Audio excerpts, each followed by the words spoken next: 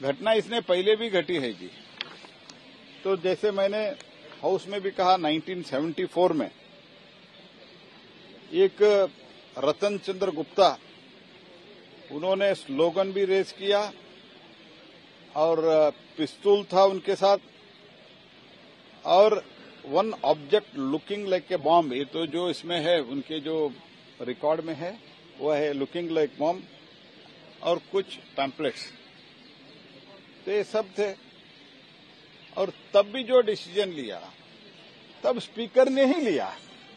तो उसमें सरकार का कोई लेन देन नहीं रहता है क्योंकि ये स्पीकर का अधिकार क्षेत्र है। 26 जुलाई 1974 को एक घटना हुआ था। उसमें तो डैगर लाया था। तो कुछ लोग, हमारे कर्मचारी घायल भी हो गए थे। सेमी कॉन्शियस हो गए थे। तो उस टाइम भी स्पीकर ही जो कुछ भी कदम उठाना था, जो कुछ भी कार्रवाई करना था मान्य स्पीकर ही किया था कि स्पीकर के अधिकार क्षेत्र में है। 26 नवंबर 1974 फिर हुआ था, एक्सप्लोजिव लाया गया था। उन लोगों को पास भी दिया गया था। तो विजिटर्स गैलरी तक आए थे, विजिटर्स गैलरी में आए थे, और तब भी स्पीकर ने कार्रवाई किया। और 91 में जो हुआ है, मैंने ऑलरेडी उल्लेख किया हूँ। दो लोग जंप किया था तो जंप करके अंदर आए थे। तो तब भी स्पीकर ने निर्णय लिया था।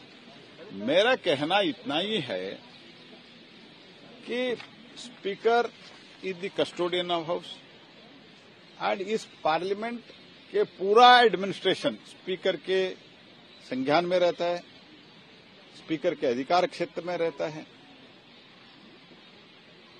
तो सरकार को स्टेटमेंट दे दो ये ऐसे बोलने के लिए हमारे अधिकार क्षेत्र में नहीं है। जो मान्य स्पीकर ने आदेश दिया है, सरकार उसका पालन कर रहे है। तो इसलिए मैं इतना ही कहना चाहता हूँ, इसमें पॉलिटिसाइज मत करो।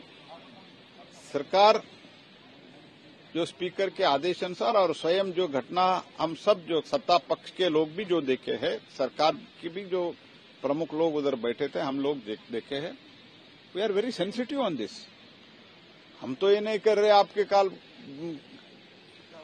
हमारे कालखंड, ये बात भी हम नहीं कर रहे। हम कह रहे जो पहले का जो प्रेसिडेंट है स्पीकर जैसे आदेश किया था, उसके अनुसार हमने कार्यवाही, उस टाइम भी उसका, उस उस टाइम के स्पीकर भी अपने विजडम के आधार पर जो काम किया था प्रेसिडेंट है, वो प्रेसिडेंट के आधार पर हम काम कर रहे हैं। अगर आप ये वीडियो YouTube पर देख रहे हैं तो हमारे चैनल को सब्सक्राइब करें और बेल आइकन को दबाना ना भूलें। अगर आप Facebook पर ये वीडियो देख रहे हैं तो हमारे पेज को लाइक करें।